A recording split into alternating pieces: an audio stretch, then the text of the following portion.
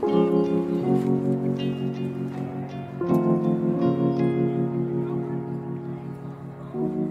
Champions. Premiered 1968. The Adventurer. Premiered 1972. Randall and Hopkirk deceased. Premiered 2000. Randall and Hopkirk deceased. Premiered 1969. Man in a Suitcase.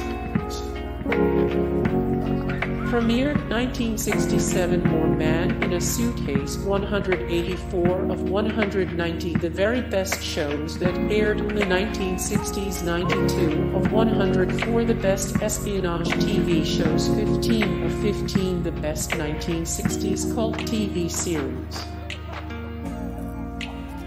Jason King. Premiered 1971 Department S.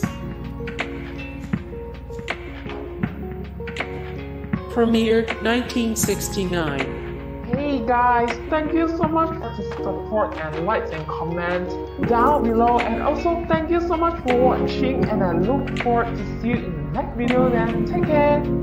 Bye.